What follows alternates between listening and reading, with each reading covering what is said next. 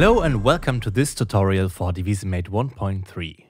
One of the new features that were introduced with the 1.3 update is the transposer scale lock. We already had a quick look at it in our What's New video, but in this video I want to have a closer look at it, explain all the details and explore the possibilities a bit further.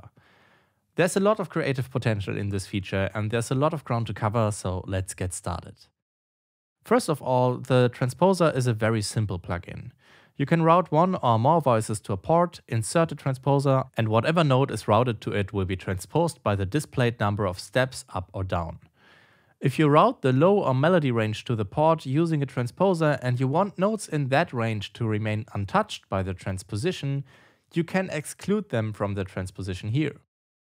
But in every transposer, you will now also find this lock to global scale button, and that's where it gets really interesting.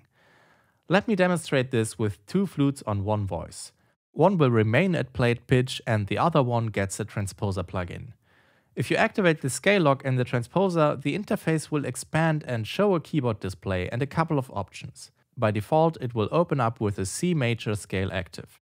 With the scale lock enabled, each of these steps up here represent one scale degree by which the incoming note is transposed. So if I set it to plus 2 and play a C on my keyboard, the transposer will move the note 2 scale degrees up to E. So now the flutes play a major third apart. But if I play a D, the resulting note in the first flute will be an F, so the two instruments are now only a minor third apart. That third will always adjust in accordance with the selected scales. So I can play agile lines in thirds and it will all stay in key.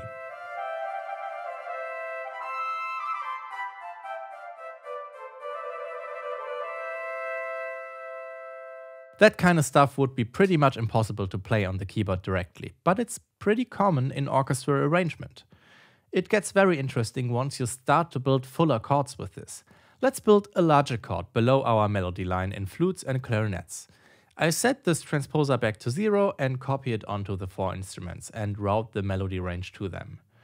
My goal is to still play only one melody line and have a four note chord in closed voicing lined up below that.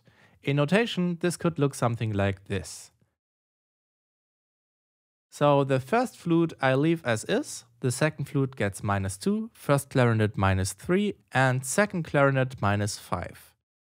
Now whatever melody I play, I'll get this chord, which could be either a sixth chord in first inversion or a seventh chord in second inversion. This is quite fun to play and has a nice old-timey jazz vibe.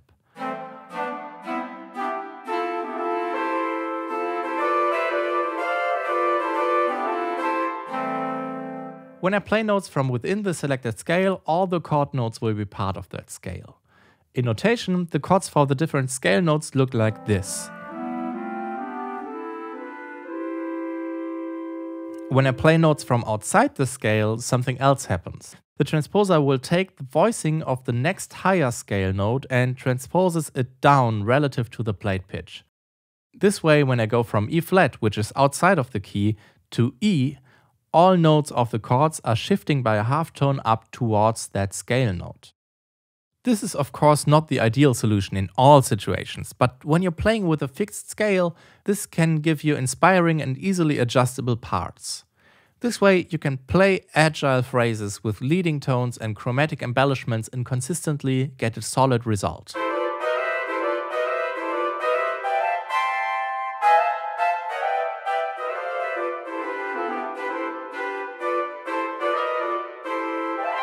I find this really fun to play around with, and I hope you do too.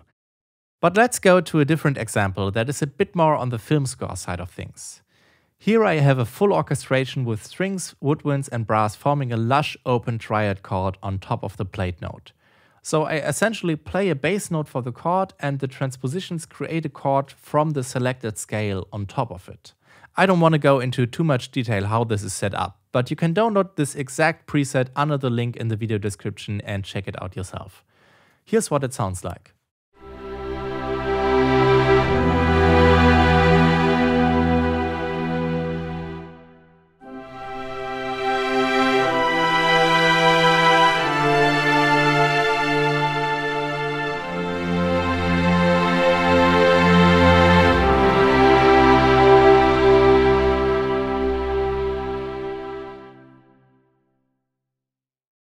So far we have not really looked at any of the new settings within the transposer, so let's do that now.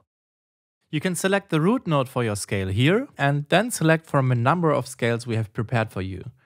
The keyboard display on the bottom will show you the notes of the current scale in blue. Note that the scale is a global setting. All the transposers with the scale lock enabled always lock to the same scale, and all these settings are the same for them. So if I change the scale here, the scale also changes in the other transposers. You can also build your own custom scales by activating and deactivating notes on the keyboard display. So you can build yourself an octatonic scale or something completely unusual and experiment with it. It is actually quite interesting to start out with a ready-made voicing and then changing the scale, because the numbers in the transposers all stay the same. They just start to mean different things. So if I go in here and just add one note to the scale, it will turn the simple triads from before into quite an interesting dissonant chord.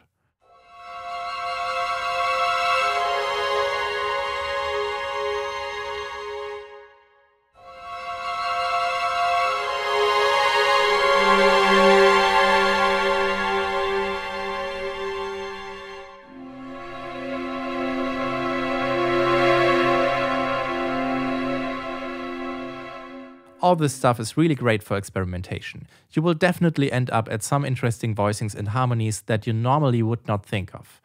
But let's reset this to C major for now and look at the final button to talk about, which is the follow low option. This allows you to change the root note of the scale on the fly. When I activate this option and also activate the low range on the orchestrate page, notes I play within the low range will now change the root note of the global scale. This now allows me to modulate on the fly and borrow chords from other keys, another interesting option for live performance and experimentation.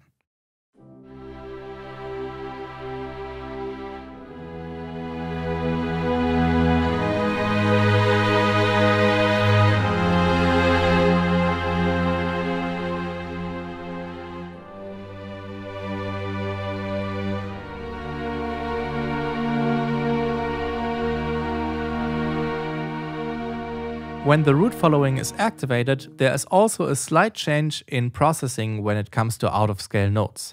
Instead of a fully chromatic approach to the next higher voicing, the out-of-scale note will be harmonized with the closest notes from within the scale. This makes for a more interesting experience when you switch the root note while a chord is playing.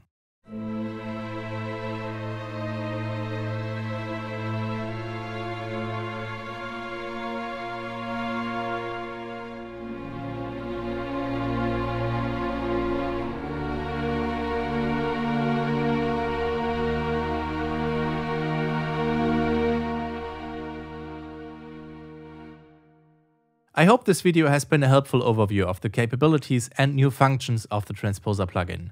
If you want to see more of this in action, make sure to subscribe to this channel and check out our other videos. We have a couple of live performance videos featuring the Transposer scale lock and we actually have shared orchestration breakdowns for them on our website, so check that out. But that's it for this video, thank you so much for watching and see you next time.